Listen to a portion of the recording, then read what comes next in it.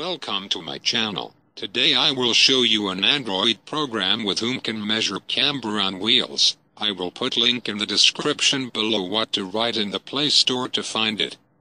Because it is in Japanese and I do not know exactly what it name, you'll recognize it when you see it. This is how it looks. You run the program, you find the horizontal place on the car like that and you press this. Then you go to measure the wheels. Depending on the make and model you will find how much the camber should be. Mine is 1.56 negative camber, plus minus 0.30 degrees. Within one word mine are perfect as they are now. My wheels they had very large negative camber, and I set them by using this program. You can see how slightly they have a negative camber, so it should be.